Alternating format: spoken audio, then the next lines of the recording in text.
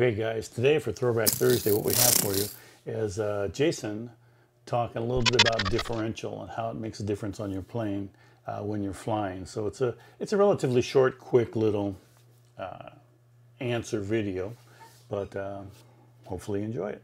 Here it is. All right, to answer the question on aileron differential, we basically need to talk about what it's for. Basically what we're doing is we're adjusting the amount of throw of the ailerons up and down to make them to where the plane will roll on an axial line.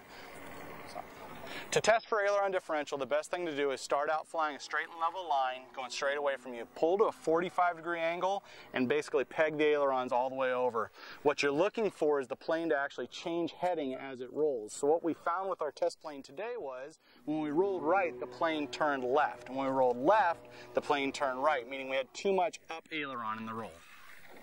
So the way we fixed our aileron differential was going into the differential programming in our 12X, and we actually held the aileron over and adjusted the differential percentage until we were getting less up aileron in, in either direction.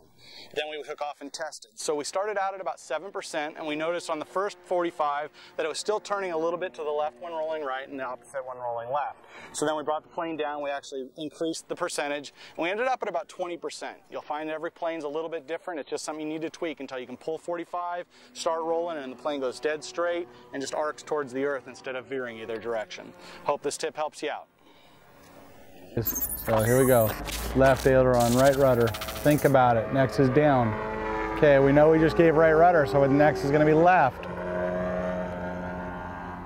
Boom. Right, left rudder, right, down elevator, right, right rudder,